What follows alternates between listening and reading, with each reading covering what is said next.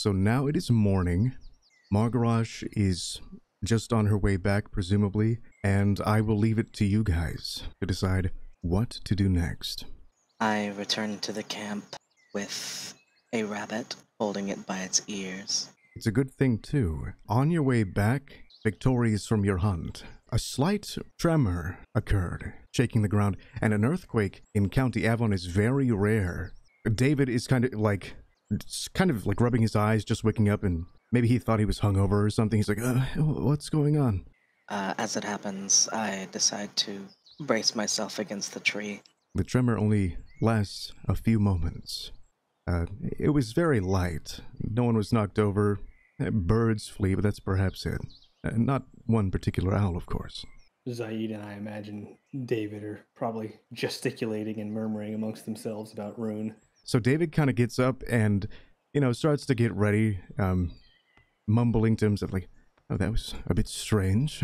Well, I suppose I'll get things ready. And he starts to lock up his book and get all the stolen items that uh, weren't already claimed into a rucksack.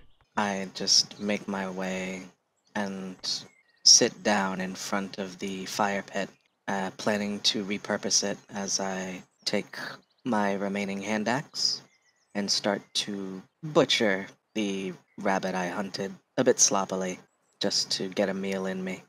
And I slowly look over toward David as I'm skinning this rabbit. He finds himself staring back at you, especially the rabbit. And he asks, So, um, what's on the agenda today? Well, we have an appointment to keep with Noros and Cinder between a few of us. I imagine we should make our way towards the tower post haste. I actually turn and look at Zaid and David rather than like sidelong glancing them and say in a fairly like calm and even tone of I know that rune probably gives you all the strength that you need to subsist on the long march back, but I know myself I need to at least have something to tide me over. And then I look to him and David and say, I have a couple of days' rations with me if uh, you'd care to go ahead and break your fast with us before we leave. I interject and speak up towards Nolame. You can have some of this, and I loft the rabbit in the air once more, or what's remaining of it. You've definitely earned it. I may have earned it with the fight last night, but you've earned far more considering that you shed blood in a mess that I dragged us all into. But with that said, I happily accept your offer of a warm breakfast. Thank you very much. And then I look at Zaid and Wolfrun and I say, I know it is poor manners to give a gift of a gift, but I would still offer you my dry rations, cold though they are. I appreciate it, but I believe I brought my own rations. And Zaid also reaches into a little sack of his own and pulls out some various dried meats and such and nods to it, kind of suggesting, like, thanks, but I'm good. As David steps forward to greedily uh, accept the rabbit, though not offered to him, uh, an owl swoops down, and this makes David kind of flinch back and hide. He's like, "Oh my God, an eagle, uh, or some sort of falcon!" Would I recognize the bird? And if I do, would I recognize that it's extremely odd that an owl is coming out like this? You don't recognize the bird, though it is odd, and it seems to be carrying some sort of letter in its beak or talons. And it perches nearby, kind of looking at you all expectantly. Can I motion to it using animal handling? You Try to get it to come to me? The owl uh, looks at you as if you're his long lost friend and perches on the fence near you. I gently take the note from its beak. The note is written in fine calligraphy. It's from your friend Coulter, who says, My friends, I hope this letter finds you well. Please take care of this owl while it delivers this letter to you, and see him back safely to me. I would like to know your whereabouts, as I have recently come into contact with my own superiors in the Academy of Natural Philosophy. I have been given leave to join you in your endeavors, though I should point out while I am funded by the Academy, I will not be in contracted to the foreigner, uh, Zaid. I wish to know where to meet you all, in town or abroad. Simply write on this parchment your location and the intended meeting time, and I will meet you there. your friend, Coulter of Avondrad. Do you just want to have him meet us at the uh, tower? Just a suggestion. Do you share this letter with the party or just write something back and send it on his way? I share it with the party because I want to know. I want to get a consensus on where we should meet him. All right. So, I was So- about to say, I thought that you said that you didn't have access to messenger birds. I don't. The owl Yeah. sort of flutters. He has like this blue sheen on his feathers, and he's very fey appearing sort of owl, and he's very uh calm and nonplussed by even being this close to you guys and everything. It's just As I understand it, the Academy has a number of different scholars, and a number of them also deal with messenger birds. But unless you have the particular favor of a higher ranking member of the Academy itself, we're not likely to have access to them, unfortunately. So then I go ahead and uh, look at the party and say, well, we have a number of information sources, and we have to go ahead and follow up on the information that Wolfrun and I found out from the stonemason sooner rather than later. Because as I recall, it was go do this, but do it soon. These, this sort of like open invitation to these sort of meetings isn't going to stand forever. So the real question is is it more important to go ahead and divide up immediately and take care of our several tasks that we need to take care of before evenfall? Or should we all gather together with Coulter first? Let's meet up with Coulter first, and then decide from there. You could have information that would make our other individual tasks mm, more easily approached. Precisely, it might give us more of a sense of priority. Hmm.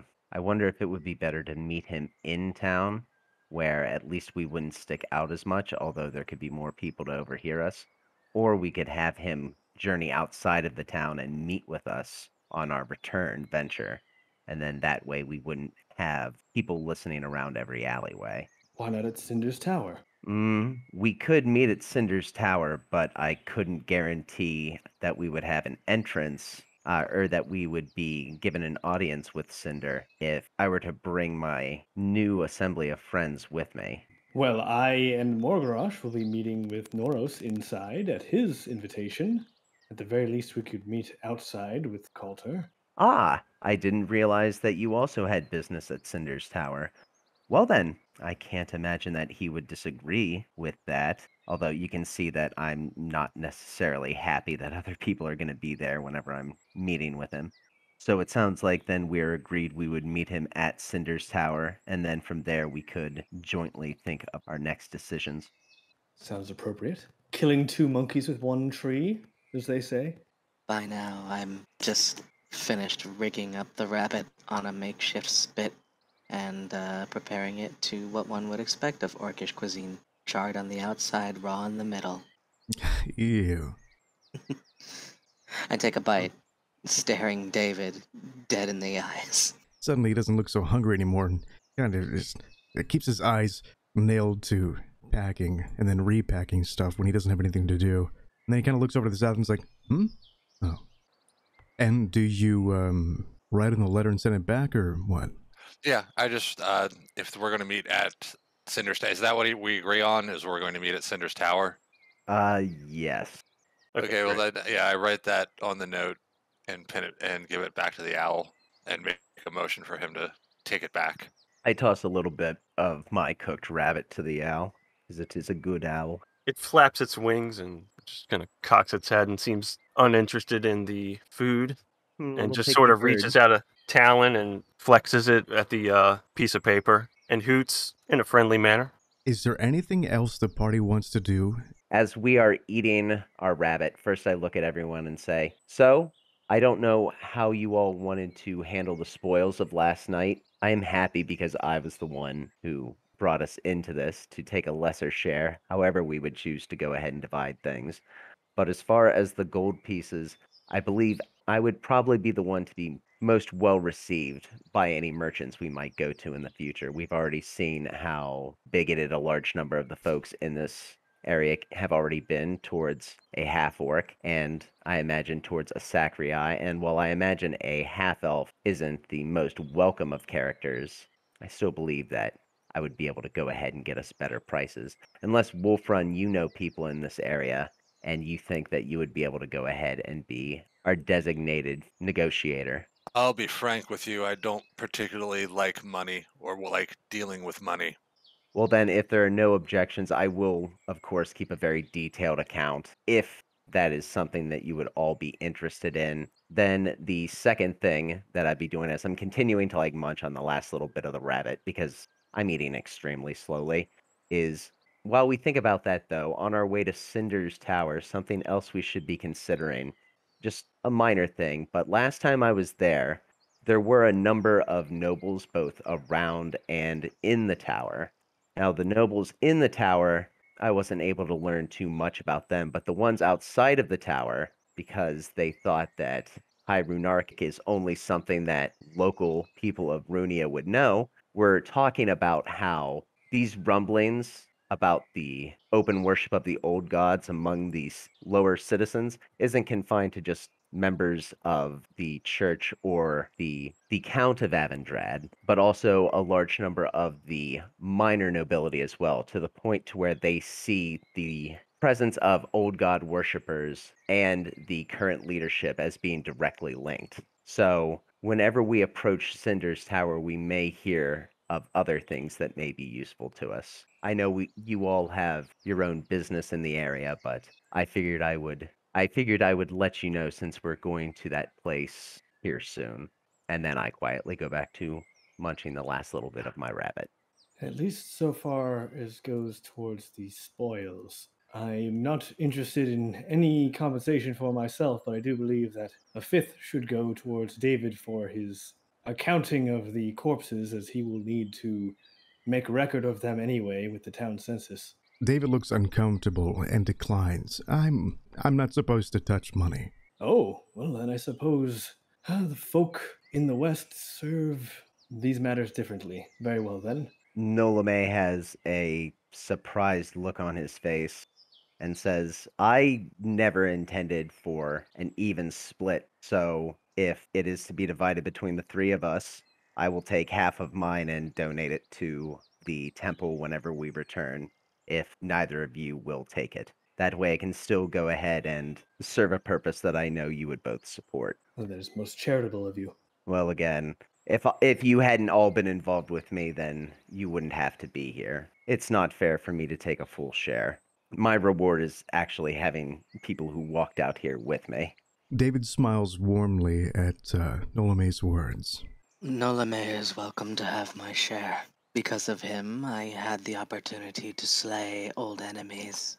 I don't need much else. This makes David look at Margarash in a kind of sidelong, curious sort of way, like perhaps he misjudged the half orc. Nolame is like keeps looking like he's trying to say something and then just kind of pauses and then finally manages to get out. I will take these funds and use them in trust for the good of the party. I don't consider this something that I'm carrying around on my own behalf, just so you all know. So please, at least let me know if there's something that you realize you need, and we will take care of it. I find that acceptable. I set down the husk of a rabbit and I stand up and step closer to Nolame and I reach out with a closed fist and I give him a sort of a friendly nudge to his shoulder, just sort of grinding my knuckles against him. You've already stood up for me twice since my arrival. This should be a lesson to stand up for yourself as well. I don't need the money. Spend it however you wish. David very quietly writes something down in his book. Maybe I'll start by standing up for myself right now. I'm letting you know that whenever we get back, you don't know when and you don't know what, but I'll be surprising you with something uh, that I get through our collective reward. I just kind of smile and try and disengage by looking back to the fire. Uh, does anyone have anything like I know that we kind of got wrapped up in the money talk there, but does anyone have anything of like significant thought regarding the point I brought up about the minor nobility as well? I don't know if that actually matters to you all, but I found it interesting because I really thought this was a case of the peasantry was worshiping gods that weren't easily controlled by the rule by the high ruling class. I didn't realize this went so deep that now the ruling class is using it as a sort of political cudgel against one another. Zaid like definitely wants to get out into that like forest meeting at some point to kind of see if he can like cut the head off the snake and like have that be the message sent back to like everyone else because if it's so infested he i don't think he thinks that it can be dealt with on like an, an individual by individual basis So, uh, go to Cinders. Yes. yeah Alrighty. Okay, so you all arrive almost midday back in town. Um, you can see Coulter's waiting for you outside. Uh, his owl is, is kind of like resting atop at the well, kind of like perched atop of it. Wolfrun is kind of hanging back a significant space while you guys approached. But other than that, everything seems fine. There's not too many crowds here or anything. Everything seems quiet. Seeing Wolfrun hang back now makes me wonder why is Wolfrun hanging back? I'm like, should I be obsessing over this or should I just go into the tower? well after plotting coulter i'll uh, kind of raise and wave my uh, banner about and hail him down Smile broadly and nod my head towards them in greeting. I go ahead and look at Zaid and Margarash and say, since I've already met Cinder, I'll go ahead and see if he's available and able to receive us all. Would you be interested in just letting Coulter know about the interesting night that we've had? i'd be more than happy to You look not too worse for the wear. Welcome back to more civilized lands. Well, I didn't get involved too much with the fighting myself, and well, Morgarash is already red, so the stains don't really do much to uh, affect. Thank you for accepting the agreement uh, for me to uh, possibly join your band for a while and uh, assist you in my role from the academy. Having a specialist of your sort, of the arcane qualities of the world, always a boon on a treacherous journey such as this. Well, it is a lovely day outside, but uh, I believe we were all going to have respite inside. So then I knock on the door and I'm waiting expectantly for the door once again to open magically. Before It- your fist hits the wood, doors swing open and kind of makes your wrist bend at an odd angle. my face shifts between annoyed and amused at how that played out. As I walk in, I just say to Cinder that Cinder, there are a number of people outside that I've been journeying with that also have business to see you. I just wanted to see if you were in a position to receive a number of guests this early afternoon. He turns around from tending to his like kettle of tea or something that's boiling over the fire. And is like, oh, hello. Yes, bring them in. And then as I'm turning away, I say, once you've attended to us as a group, perhaps you'll have time to talk with me afterwards. All the time in the world. Excellent. Thank you, my friend. I imagine I would have come out like not too long after their conversation ended and said, Cinder is ready to receive all of us. Please just follow me. I peer over my shoulder and look back towards Wolf Run and speak up to the party. What about him? I had assumed that he would just be coming with us. As far as I'm concerned, he's involved. He should know what's going on. He might be able to help us with anything we learn. And then I just walk to him like, Wolf Run, you're uh, with the party. You should come join us. I was waiting for someone, but I don't think they're coming. Well, um, do you think you'll be able to meet up with them later then? I don't think it's my choice. That is the way of life a lot of the times, isn't it?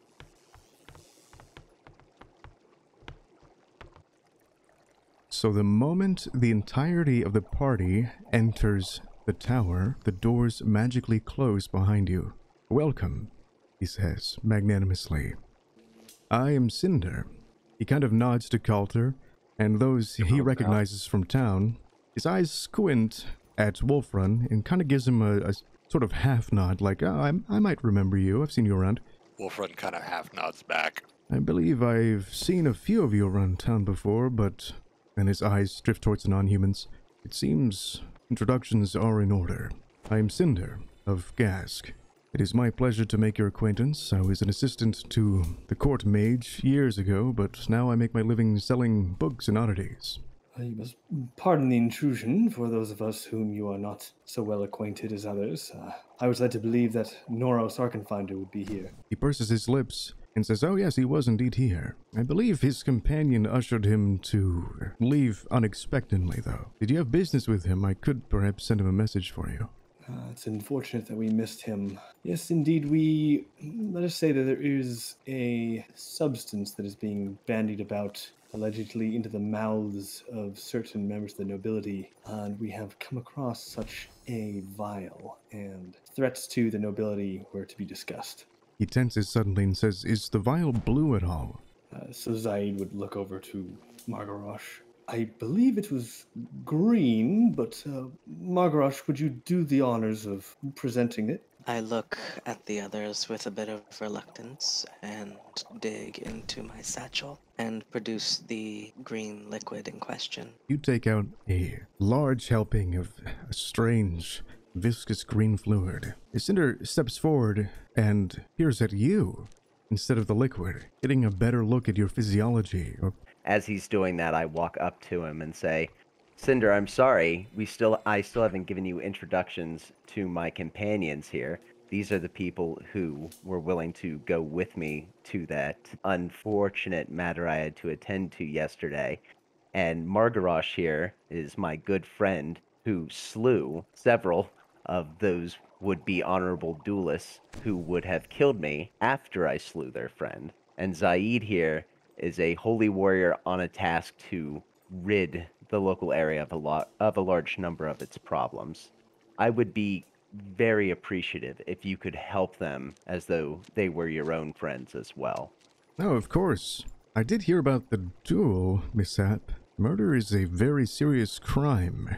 I expect you all had just cause. We were attacked first. Well, one was an honorable duel where he struck at me first, and then the others were coming up slowly, plotting to go ahead and slay me should I approach on the other side of the river, or should their champion fall in a duel with me. Because if they had been there to escort him, then there was no reason they shouldn't have come across to support him in the duel, like Zaid did here with me, standing by to make sure the rules of the duel were honored. So I don't know how much more justification you can have than that. Wolfrun scowling seems agitated. His eyes kind of darting a little bit nervously, and then says, uh, Can I interest any of you in um, any uh, magical reagents, components, books, oddities you might not find at the temple? My eyebrows perk up as I rub my chin, thinking about what's on my list. I look around. Hmm. I start trying to make eye contact with uh, Nolame. I make eye contact with Wolfrun and realize that I haven't introduced him, and at the same time, that Cinder hasn't been making eye contact with him. So then I make, I make my way over to Wolfrun. Okay. In a very low voice, uh, Wolfrun says, How would he know about the duel? I mean, I told him that I was going to a duel, and I assume that he just thought that, well, of course, if I'm still here, then that means the other one died. I came here actually to him for some aid. I got, and then I show him this ring. I was like, he tried to aid me by giving me a magical artifact. So I know that he's someone who is willing to go ahead and put some of his own capital on the line to aid me. And then I look at him. You're staying here at the back of the party. Is there something about Cinder that you don't want to go ahead and approach him? Or is it just that you didn't have a reason to meet with him? Because if not, I apologize for not introducing Quiet. you, my friend. Be quietly. We are being followed. How did Cinder know that you had won the duel before we got here? How did he hear of the outcome before we got here? Uh, chill goes down Nolame's spine as he realizes that Wolfrun's right. That Coulter had been able to go ahead and find us with his familiar, and so there's no reason to expect that other people couldn't have been following us. I We've look to been him being and followed since we left the woods. Not all of the spiders were killed. he is a man with a large number of connections in the local area. I wouldn't be surprised if a number of people would be following us and wanting to know the outcome of the duel, especially considering the composition of our party. I have trouble understanding why he would be plotting to do us harm whenever he could have just as easily given me no support. Regardless, we are being followed, and it's definitely by hostile entities. So the question is do we bring this to the attention of someone who has shown an investment in at least keeping one member of this party alive? And so long as I'm with the party, he should be supporting us. Trinket alone is enough to gain your trust. It is not. There are other things that I cannot openly discuss that cause me to trust Cinder. There are things that I've already staked my life on, though. I see. I have to, I personally have to trust Cinder. The rest of you may not have to, but I am in a position to where it is not an option for me. But while I'm with you, I won't openly talk to him of things that could put you all in danger. I don't think so long as you're with me that he will be a problem for us directly. We should be able to count on this man as an ally. I wouldn't bet on it, but I hope you're right. I can be blinded to the needs that I have, and Cinder is an essential part of me meeting those needs, as I say, turning back towards him. I hope that you'll continue to go ahead and keep a suspicious eye so that you can see what I may be blind to. I will make sure that my tongue is not so loose that I may incidentally put any of you in danger. The forests are always watching. Fortunately for now, we're in a tower. It's a little bit easier to know whenever you're being observed. I just wanted to say that I do have my, my bird out there keeping watch while we were in here, and uh, we were letting that discussion go. And meanwhile, yeah, I was just making pleasantries with Cinder and asking him if he if he's happened upon any interesting tomes of lore recently or any other oddities. And you know, he said he has a shop, so here with those type of things. So I asked him about those. Your watchbird telepathically, because he's your familiar, lets you know that there's someone snooping around outside. But this, this is just like in your mind. So while you're talking, he's like, "Oh, what are you interested in?" Says Cinder. I sort of rubbing my beard and my eyes sort of like look up. I'm like, let me get back to you on that in a moment. I have a few tomes that uh, are translated that aren't really accepted in the temple. Uh, the Five Chambers of the Soul. Um, I believe I have something by a one explorer of Black Cell, something to the effect of the Foxbrin region. I've put my full concentration to my familiar to see who's out there. So I basically lose track of whatever Cinder's talking about and kind of go into a little minor trance. So when he brings up the five gates of the soul, is that it? What was the name of the title? Yes, I think that was it. I, I I misspoke. When he brings that up, Zaid's going to perk up quite a bit. The owl reports back to Coulter that uh, it was just some large human in purple robes, but they're like around the other side of the tower now.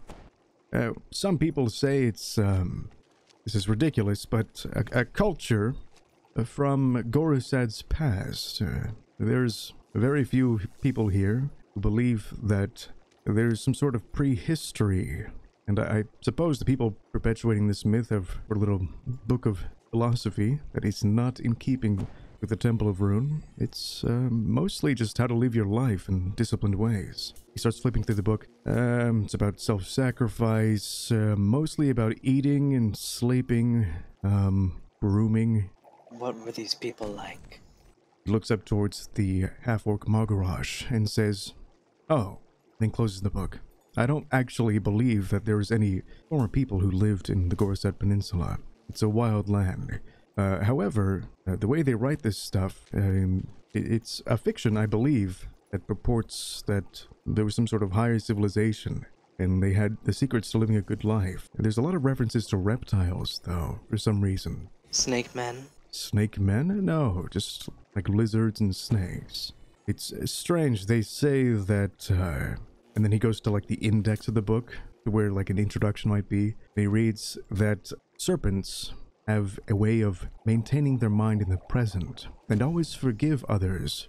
Eh, whatever. It is an interesting read, and um, Uh, I'm wondering if he can do a history check to see if there's any similarities to the doctrines in this book and the like cultural practices or history of the snake men that he's aware of.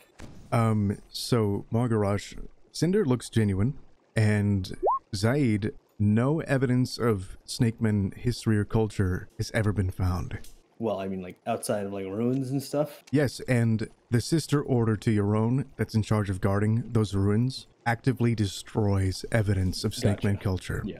And Cinder does seem like semi interested in it, but you can tell he's more interested in actually selling you the book. How old is this book? He looks down at the paper and s- considers your words.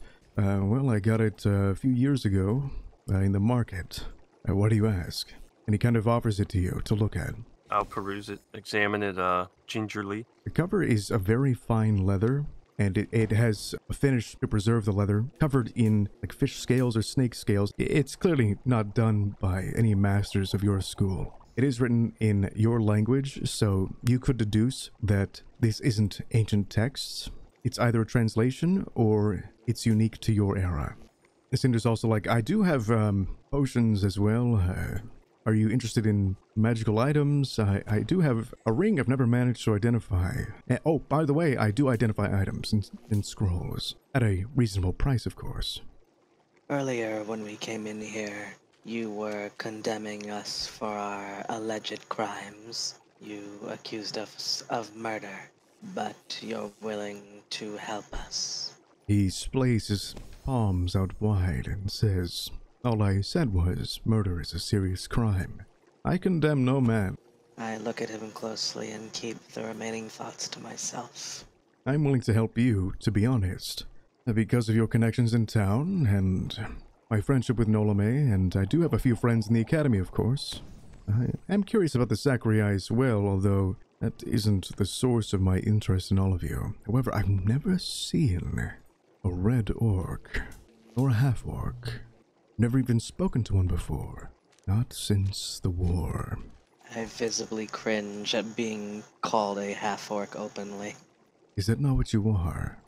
I look around the room, uh, just shrinking in my posture and doing anything I can not to look directly at him before rubbing my jaw and confirming with a, a simple yes. How is it you were born red? Why was he born looking like a bird? And I point towards Zaid. I interject and remind Cinder that while scholarly interests are not problematic, we have to go ahead and remember that there's a time and a place for asking and understanding and learning new things, and perhaps this is not the correct moment for him to be asking these sorts of questions. At Nolame, eh? he vehemently asserts with a kind of knife hand gesture, This is directly important to matters that I have serious business with. And he says it to you in such a way that it could be connected to an earlier conversation. He uh, relaxes and says, Look, I am sorry. I made you, well, I perhaps spoke too harshly. You are all friends here. I'm a foreigner and half breed myself. Uh, my parents came from Kabir, which is now known as Arcturia. I am looked at strangely myself, although people have grown to love me in this town. I am what you would call a Thane now as well, and I look towards. he chooses his next words carefully. Those born of uncertain fates, with a certain kinship, and you can tell that there's like baked in meaning behind every word. And then he changes the subject. Anyway, is there anything I can help you guys with? Rubbing my beard, intently thinking about his every words and, and looking at this book. Very curious about the book, actually. That will be one gold. I believe the investment might be worth it. I slip out a gold piece. Before you can, I go ahead and press six into Cinder's hand and say, We've gone ahead and decided to go ahead and work jointly on this venture. And also, I promise to go ahead and repay the initial loan that you gave me in order to go ahead and help make sure the company could secure necessary gear if needed. So, this is for him, and then here are your five gold back. He pushes the gold back into your hand and kind of narrows his eyes at you. All of them? And then he turns his head very minutely towards the direction of Zaid for just a moment. all of them. No one needs to walk into a potential trap for another man, and yet Zaid did for me because it was according to his principles and set of honor. I might not necessarily agree with him all the time, but yes, I would speak for him and stand for him in regards to this matter. Sounds Can I help indeed. any of you else with anything? Well, uh, unless you have pertinent information shared to you by Noros regarding the attempt on the nobles' lives, I'm not so sure. Right, this attempt on the nobles' lives. I'd like to discuss this. Can I get you some drinks? So, about this attempt on the nobles' lives, I'm not sure what to do with that. I could tell Kelthus, who, as you know, is my good friend. Uh, you perhaps might not know that when we were in our youths, Kelthus, who is now the captain of the uh, guard here, was, well, let's say, my adventuring companion. Yes, so they wanted to poison them with this green liquid. So are you formally presenting Cinder with an accusation against Siegfried?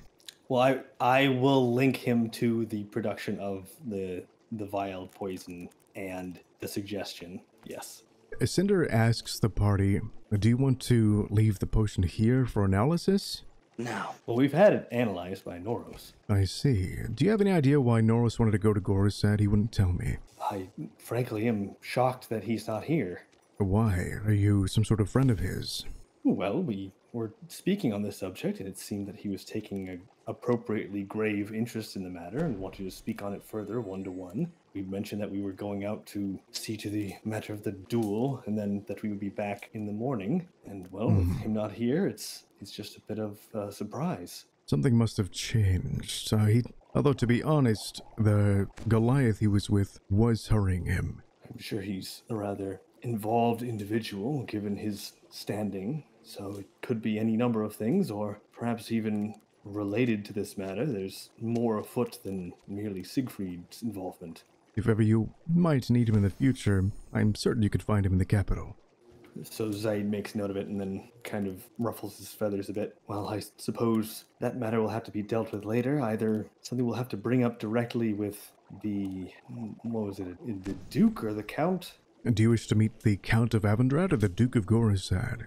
Uh, the Count of Avondrad. But that's another matter on top of other investigations we are to make in the forest and regarding the denizens and meetings happening there, as well as the strange weather events. Those may take our priority in any case. Hmm, well, I will not keep you then. I approach him and I set the green vial down on the table. You seem like a very powerful man. You said well respected. What is a Thane exactly? A Thane is like uh, an honored warrior. This potion seller wants me to use this on the highest noble that I can find. I would ask for your help. Do you want me to drink it or. No, but if you could perhaps help me convince him that it was drank. He pours some out on the ground and hands the bottle back to you and smiles. Of course, uh, I shall indeed. I think I will need something else. What is it re- you require? Hmm. I do not know what marks one as noble in these parts, but if you would be willing to part with something as proof, He uh, strokes his chin for a moment and then hands you one of his golden buttons. This talisman I was given by the Count himself. I would beg that you do not sell it. I won't. And one last thing. I do not know if this would interest you in any way, but he requested that I investigate some ruins beyond Avondrad. Hmm. He did not say why. The woods around Avondrad are very and notoriously dangerous. Although, in recent years, some people have reported that they have found ancient ruins.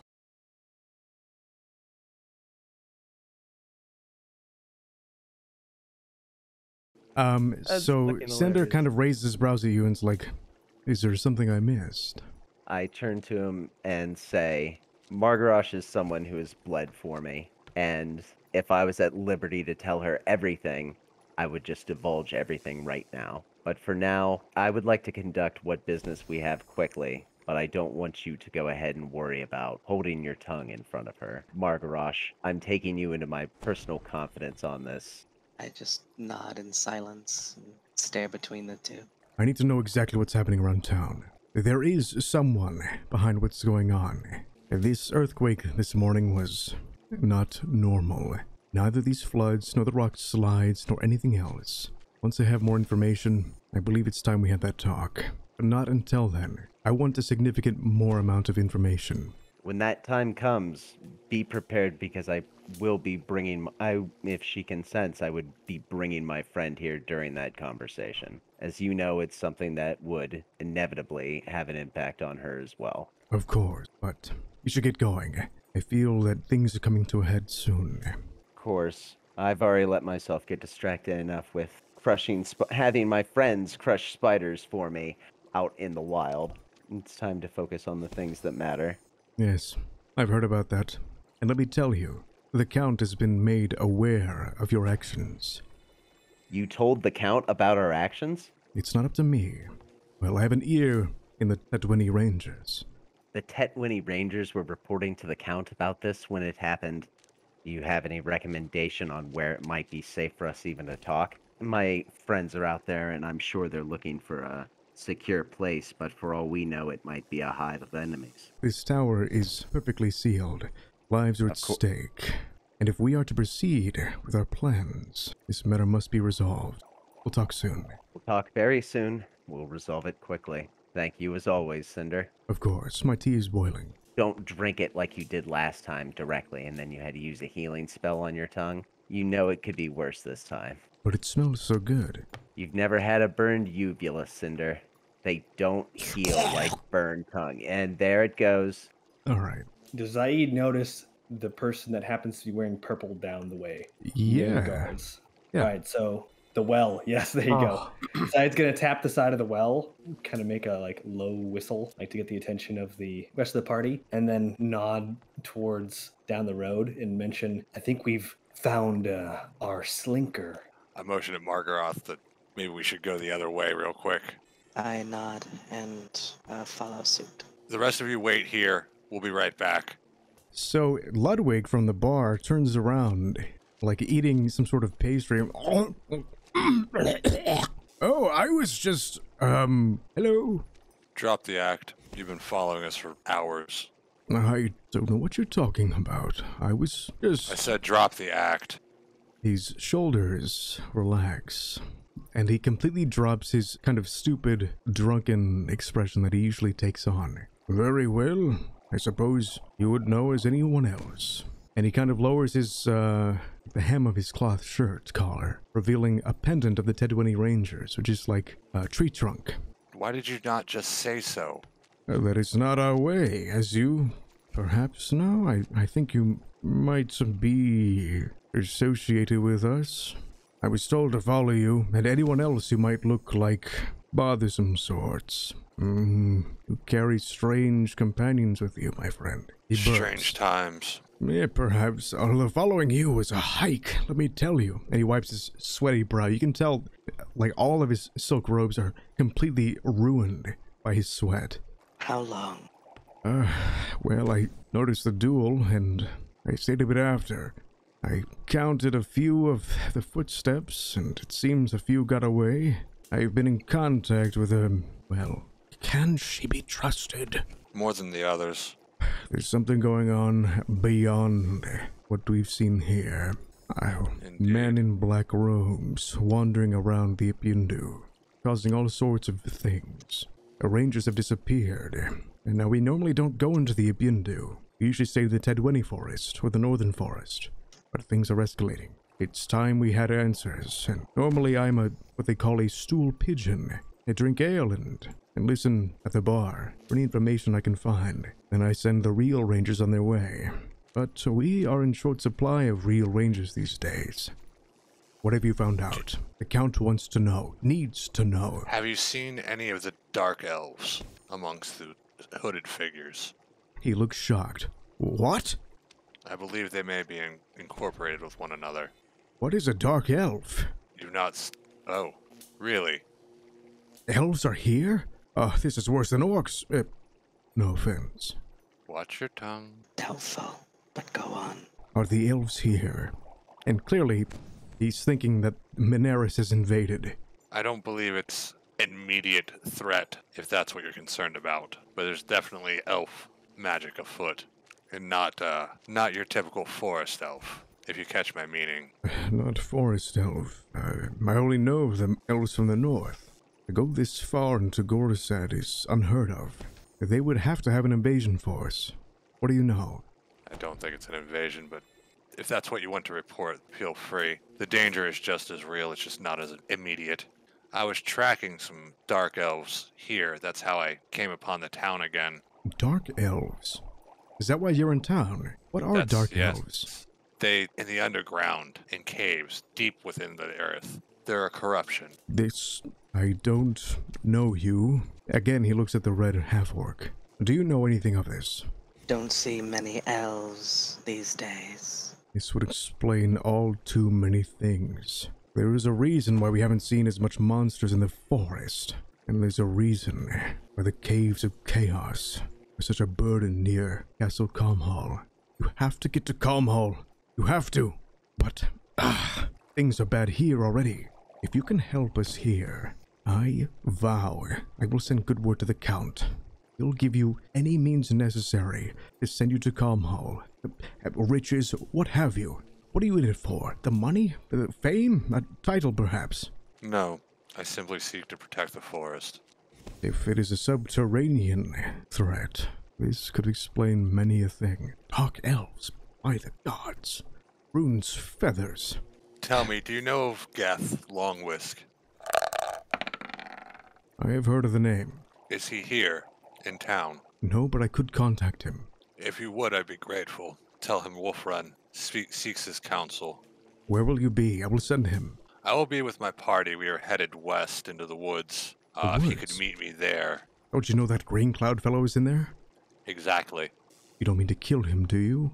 We'd start a riot in town. If it can be avoided. Hmm. I will send Geth ahead of you. Good luck. And I would know the name of your Redo companion. I, I should tell the Count. You might have a certain affinity for her kind. Uh, no offense, milady. I do hear from certain rangers that your people are doing well in the northern forest. What do you know about my people and their whereabouts? Doing well for the orcs is different than doing well for the humans. Travelers have said that they raid caravans on their way to Belmead, though they're never found with greenskins. I wonder if your kin are allied with the greenskins, the endless horde. We do not have an alliance with others that are not our kin. These caravans, these other tribes, they're the same to us. I see. I think that is enough questions for now. Hmm. uh, well, it is my job to ask these things, and if you could send me with any parting words that might help ease the spirits and the inclinations of the Count, he might receive you better. If he is having trouble with these green skins, as you have called them, perhaps we will be able to speak on how to handle them. Then I'll make myself disappear. I'll be at the Horned Raven if ever you need me be. I'll also be at the Rosewood household where my father has me doing chores. Hmm. I will be seeing you around. Don't get yourselves killed. I'll return to my rock where I'm having my second lunch. Right. I guess we'll uh, tell the others we might need to stay. Friends, it's been 72 hours. Zaid slowly turns, all of his joints cracking from standing so still. I wouldn't worry too much about being followed now. We took care of it.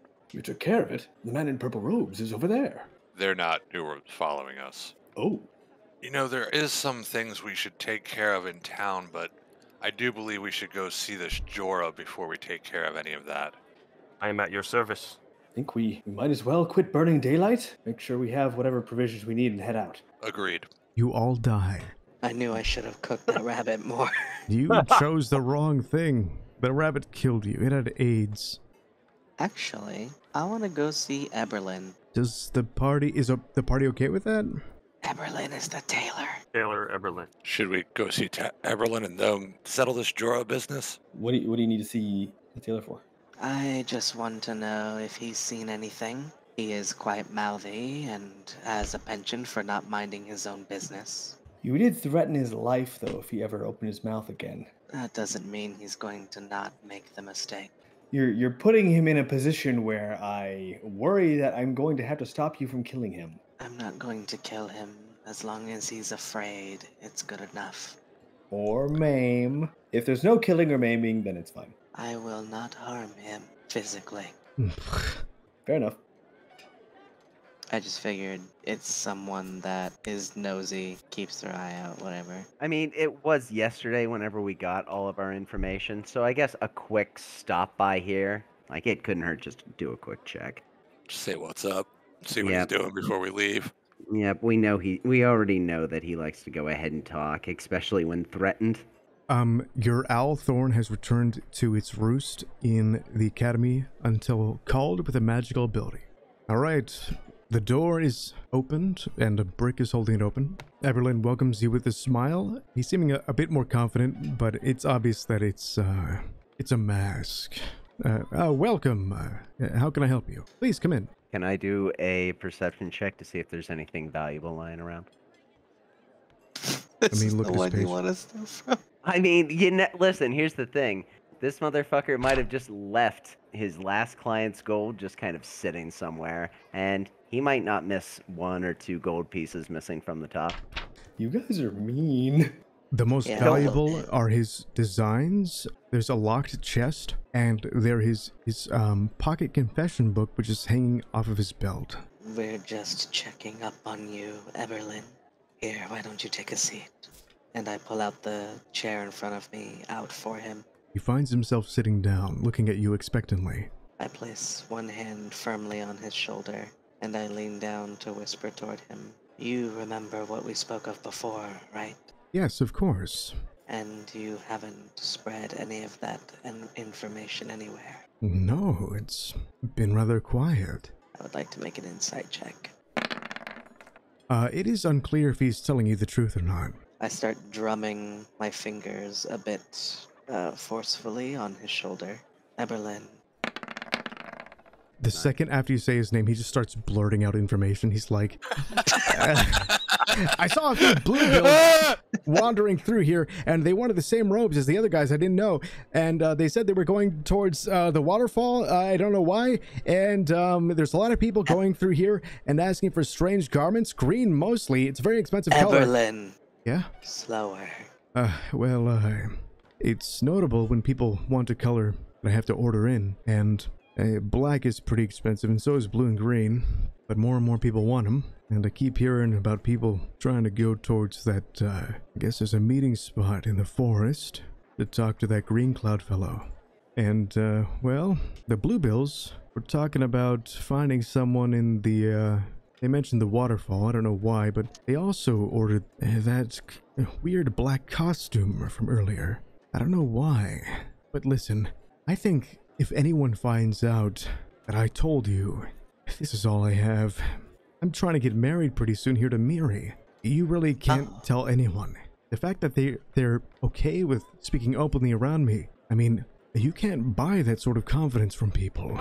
And then his eyebrows kind of lift as if he might be insinuating he wants money. Eberlin, I haven't hurt you yet, have I? You are? Uh, you? No?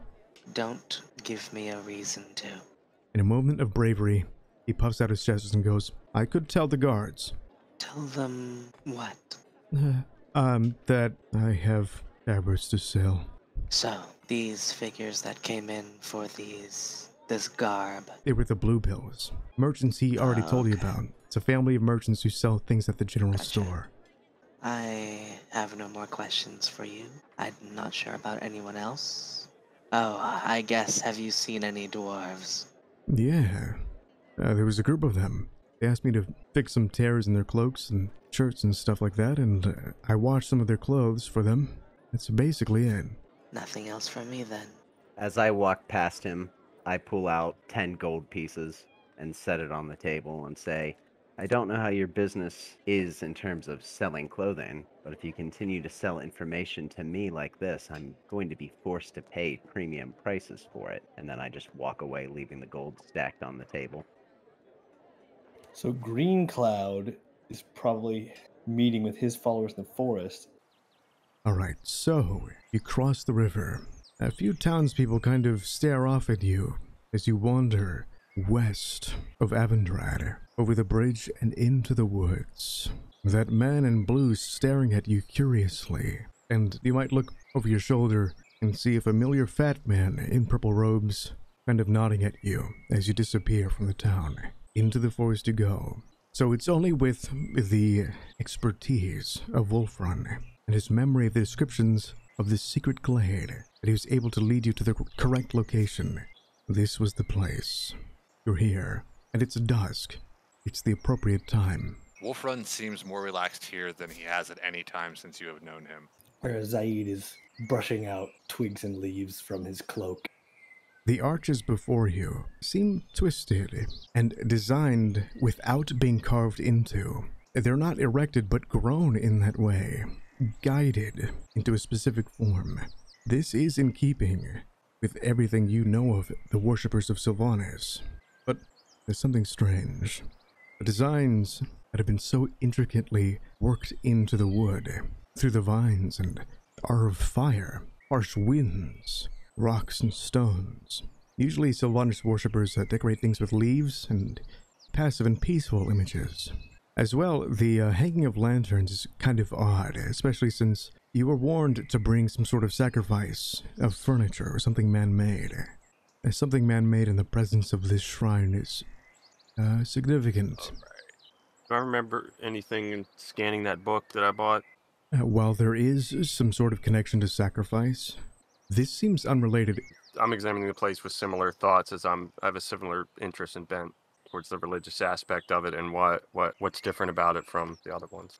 This gate is not normal. It's completely different than what you would expect worshippers of Sylvanas to have. It's much more violent, and it seems like the things woven into here are tied to the specific disasters that are happening. So whatever's happening ahead is going to be something powerful and magical, and we need to be on our guard for something that's not necessarily maybe of the bandit variety. I send my owl aloft to sort of circle above. While the owl is circling above, what do you all think about this as a plan of action? Since this is an old god, I might be able to be seen as like someone legitimately wandering into this. Wolf Wolfrun, you're you are woodcrafty, so you could follow while hopefully being somewhat out of sight. And then Coulter and Zaid would bring up the rear. Zaid, who can either protect Coulter and reinforce him if we get ambushed, or just hopefully run ahead and support us if things go to shit really quickly. I'm good with whatever. If that's what you want to do, sure. I'm going to go ahead and start walking my way up here. As I get to the next gate, I just want to see if there's anything different here that stands out from the first one. So you notice that every gate is kind of themed. Uh, one has one sort of natural disaster, and another has a different one. So this one's more like avalanche, rock slide, sort of boulders, but all sorts of uh, maybe quicksand. That's the sort of decoration that's going on in this one. Storms and other natural disasters, but this one's like themed.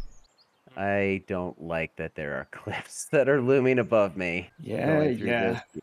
There's pagan disaster ritual blasphemy nonsense left and right. I'm not surprised.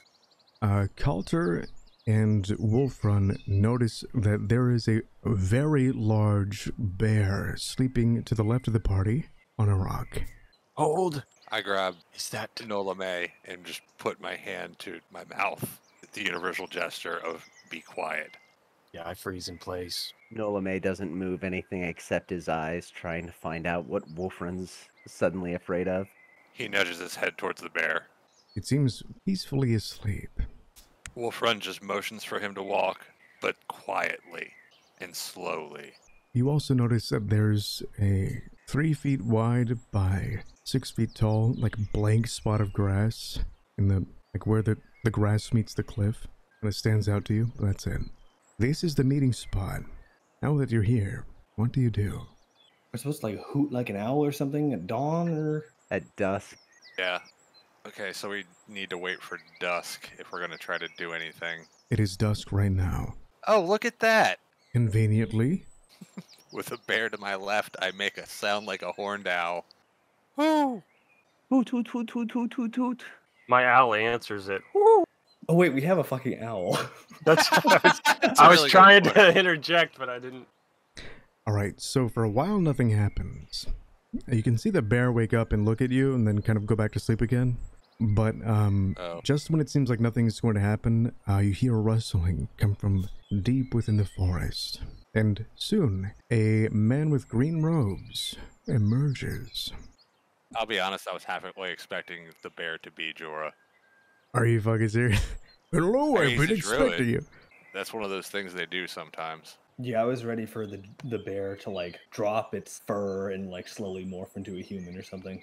All right, Come on, bear. So this kind of old man with uh, blonde hair turning white, you know, kind of beard, wearing mostly green, steps out of the brush and leans on an old twisted staff and says, "Oh, mm, it is customary to bring a sacrifice, but." Then he looks over all of you.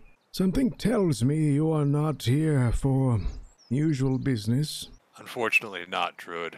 Hmm.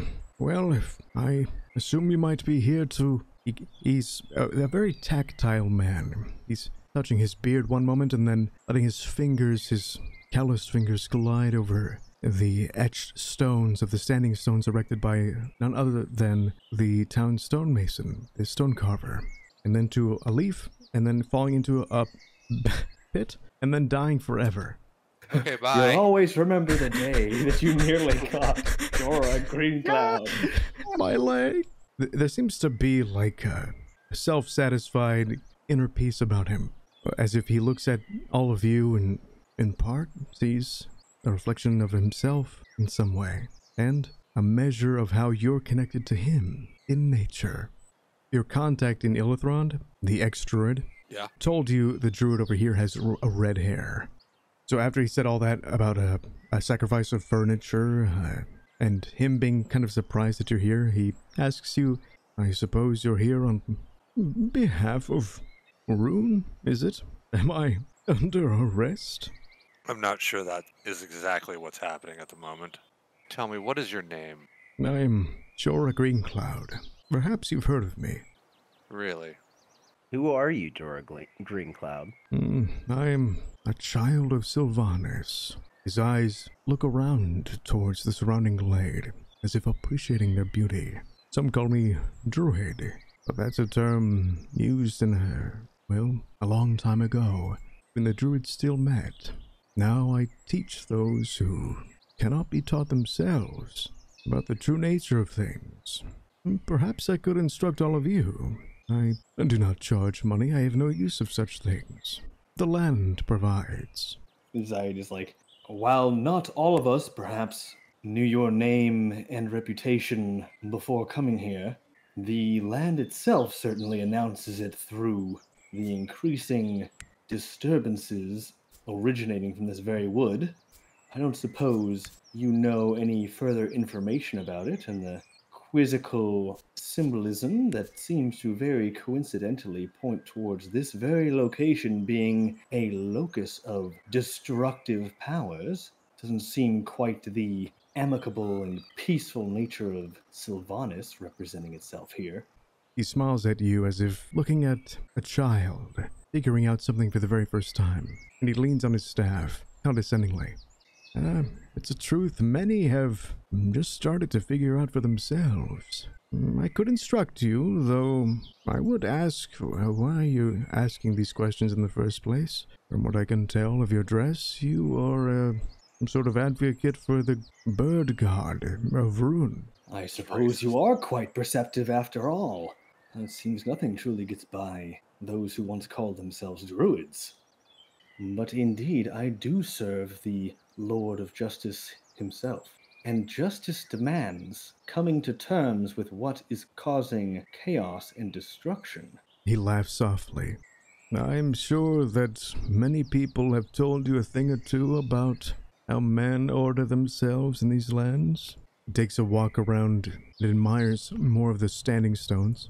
You might find that in different lands, different men hold themselves in accordance to different laws. But nature, it always holds itself within a certain sphere. It has The will, almost, some might say, and the right to take and give life of its own volition. And that's the true peace that we recognize.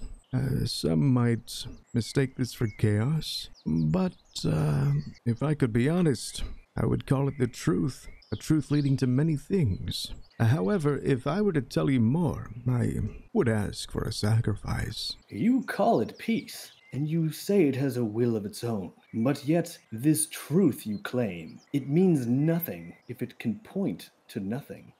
If it points everywhere, if its will fights in a thousand different directions, then what truly can it be said to strive for? How can it achieve anything close to justice or truth if it merely garbles the very concepts themselves? Now that is true chaos in and of itself. You can no more deny one exerting their will over you than that of one root covering another root. You argue for nothing, and in the end, you only breed suffering. Up until that point, it looks like he was about to like confirm something, and then he stopped. I'm afraid, my friend, I'll need some sort of sacrifice of man-made object to and know that we are of the same mind. I would be willing to teach you more. A man-made object, you say? A wise one? I dig around. Uh, calling him wise one seems to make him smile, and he nods. Uh, preferably something made of wood. The Zaid will kind of murmur under his breath. You offer him sacrifice, and you grant power unto him. You acknowledge his authority over you. dig out my blank journal where I write notes and I, I just start hastily penning down Zaid's recent speech. I was so inspired by his words, I was starting to write them down. You notice that he's subtly trying to sound more like Zaid. Tell me, Jorah, when was the last time you saw Raffen Dane? There is a very long pause. He told me of you. You know that, right?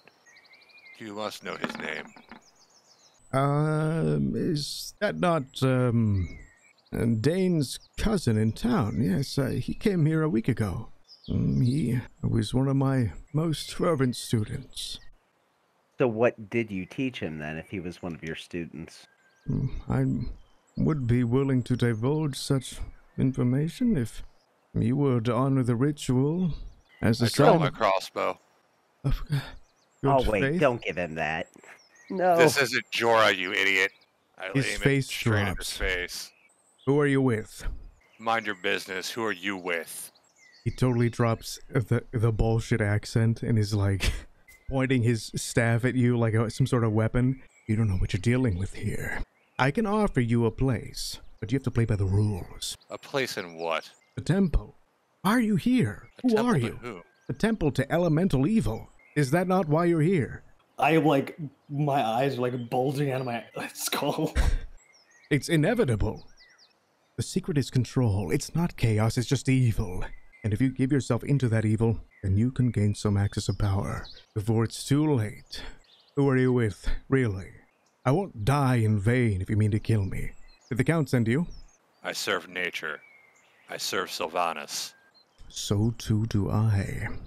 Trust You me. corrupt his name. Listen to me when I tell you this. It's what Silvanus wants. One day soon, the entire world will be a maelstrom of fire and wind. And you'll thank me for it when you are spared. I draw back my bolt. Don't kill Ah. me. Anything else? I was gonna say, can I, uh, since he's clearly gonna kill him, can I put a hand on Wolfrun's shoulder and try and intimidate? I want to get as much information out of this guy as I can. So I look him in the eye and say, "You're saying that elemental evil and chaos, not chaos, but certainly conditions that are not amicable to life, are guaranteed in the future." Now, I'm asking you directly for knowledge. Why do you think that? But instead of us offering you a sacrifice, you're going to be paid in your life as wages, and you're going to be giving us what we want in advance. Half elf, it is a mistake to let this man live. He's clearly trying to compose himself, and before he answers you, he says, I die. The town rises in flames. It all starts with my death. Um, And Can without it, the to town if- will end in wind and torrents and chaos, just as you claim. What happens in the future is not decided, uh, despite what you claim. Here's the thing, though, that is present before you. You have two believers of gods that most certainly are not supportive of your actions, and a person who is an outsider to this place who doesn't really have any connections to this town, and the fourth person who's part of the strongest organization outside of the Count who can survive anything. There's nothing that we have to fear of what comes in the future after killing you. So if you want to negotiate with the town as hostages, you should be negotiating with the townspeople. If you want to negotiate with us, you should use something of value, like the information we're telling you to either give to us or die with. I want to hear why specifically you believe elemental evil is going to continue rising. Nature is evil. Who is your teacher? He chuckles softly. Please, there is no chaos in the world. There is only good and evil. These are things known to the ancient orders of this world, only rediscovered recently, but these truths are paramount. I seriously implore you to put down whatever idols and symbols of your paltry gods that you worship now and embrace the truth of the universe before it engulfs you. I can protect you. How many of you are there? As I said, if I die, then the town will go up in flames. How many of you are there? You're someone who peddles false ho- false hopes and foolish ideas. You're not the font of these ideas. I want to know where the source is so I can stop it up there. This is a clear threat, a clear intimidation. If we're going to go ahead and as a famous general once said from the north whenever he was unifying a large number of small states, if you're going to face a rebellion at some point, it's better to incite it immediately so you can go ahead and put it down when it's weak and while you still have loyal troops. So, the only reason not to shoot him is because we believe that if I keep him alive, he might continue to report useful information to me. This is his only chance to flip. I'm pretty sure he is the leader. Um, if he doesn't give us anything else, then we're right where we were. If we're trying to chase this up the uh, up the ladder, I'm pretty sure this is the top of the ladder for as far as this situation goes. I mean, the organization, yes, but I'm like, I want to know, like, um, like, where would he have gotten these ideas, right? Like, he might lead this organization, but did, like, did he? De- he doesn't seem to have had the idea that he's using divine inspiration, but he's clearly tapping into ancient powers. So where where did this come from? Yeah, who seeded it to him? Did he find? Is there someone in town that's moving from town to town, like kind of starting chapters, or is there some kind of unearthing of artifacts or whatnot that are contributing to these something, something, something? Right, like did he touch some weird stone down in a fucking cave somewhere and all of a sudden he started hearing voices? Like even that, because then we know to go to the cave and look for the talking rocks. I want to know where Jorah is. So when you ask this man's eyes, his hands upraised, it looks barely flicks in the direction of the cleared out grass, and then back to you. I have no idea. I see. You want to know how many there are of us? Everyone who openly worships Silvanus and Avondrad has come here. I promise you that. You want to kill all those innocent civilians? I don't think you do. And you lied to them. You killed Jorah. No. And you served his place, and you lied to them. We don't need to kill them. We just have to show them how far they've fallen. You have no idea, do you? Most of the town, most of my students anyway, are members of the temple. It's only a matter of time. I promise you, if you do submit, I will spare you. But this is your last chance. This is your last chance. Let's be absolutely clear. And I look at Zaid. If Rune is a god of justice, then we don't really have to worry too much about the innocent civilians in town. There's a large religious presence there, and I want to remind you none of us really have any ties there. Well, not no ties. I suppose I know a number of people, but I never take lightly words of portent from a wise one, regardless of who speaks. I do not wish to see the town burned, but If I tell you anything, I want immunity. Kill me now and you will, will kill Avondrad. So you won't all kill me. there's no need for us to kill you. We're going to bring you back into town with us because otherwise there's no way for us to confirm. You will listen. You can either die here or live a little bit longer. I think we can make this work. If we make a spectacle of him that he willingly walks into and he can remain unharmed. To the druid, and I say it's time to choose. I'm trying Or to y- tell you. It's the temple of elemental evil. And where is it? As far as I understand, the temple was born of pilgrims wandering into the forest and studying ancient writings scrawled upon strange temples that spoke of the rise and of a climactic fall of a great people who came eons before. I tell you this now because I know my life is forfeit. There is no more control. I'm doomed. They call the leader of our order the Beholder. He's a man of great power. I have met him but once. I have not seen his face, but only his chin. He was clad So in it is a- black robes. It is a man. Indeed. He What's the color of his skin? pale of skin, black of hair. I believe every word of what I tell you. There are no lies. This is the truth. Human conflict, even conflict between Sacrian monsters and animals, is but a preamble to the eventual fate of the world. That's chaos, war. That's disorder. The true order is fire and wind.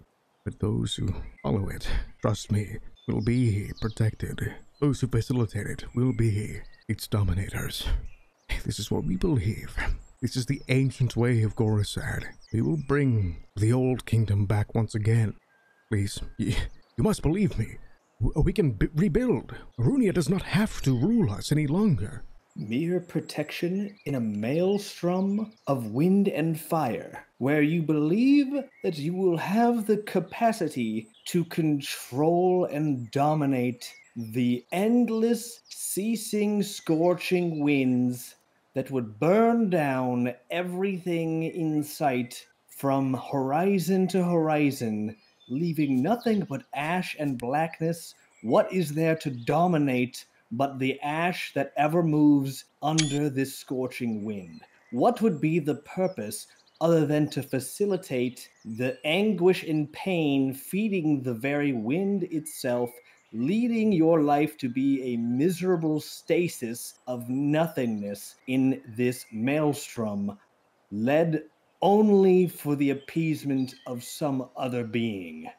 Why do you believe that your insight now was any stronger than when you were a highwayman, when you were informed that you could be led to greater purpose by someone making you a pawn in their own world destroying campaign, of which you would be the primary harmed party among a mountain of corpses left only to watch in soulless pain as That's- at least the rest of their souls return to their inevitable resting places. Zaid, you speak as a true believer, but there are things that he just revealed there that show that this isn't just about faith to him. This is a mechanism that he can take revenge on Runia. This is partially a political machination. He just said that we can rebuild and Runia doesn't have to rule us any longer. This isn't just about him wanting to serve some elemental nod. chaos god. This this is something to do with a local a local uprising against Runia. So then this question is who else are you talking to and where else are these ideas being spread? I've told you all I know. And will you recant? It would seem I have no choice. Is this satisfactory to you, Zaid? It is to me. Wolfrun? His head hung, his eyes low. The druid, Jorah, finally says, And I am your prisoner.